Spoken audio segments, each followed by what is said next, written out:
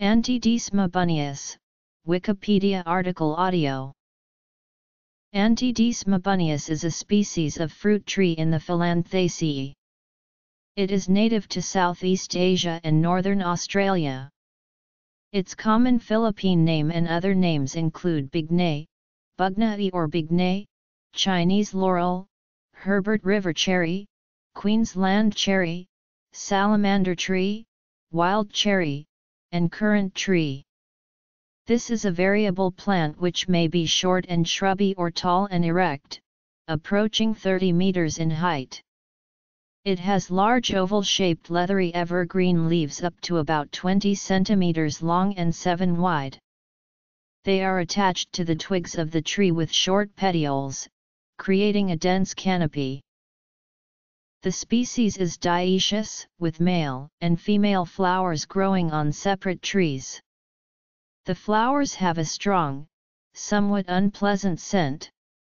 The staminate flowers are arranged in small bunches and the pistillate flowers grow on long racemes which will become the long strands of fruit. The fruits are spherical and just under a centimeter wide, hanging singly or paired in long, heavy bunches. They are white when immature and gradually turn red, then black. Notes Each bunch of fruits ripens unevenly, so the fruits in a bunch are all different colors. The skin of the fruit has red juice, while the white pulp has colorless juice. The fruit contains a light-colored seed. The fruit has a sour taste similar to that of the cranberry when immature, and a tart but sweet taste when ripe.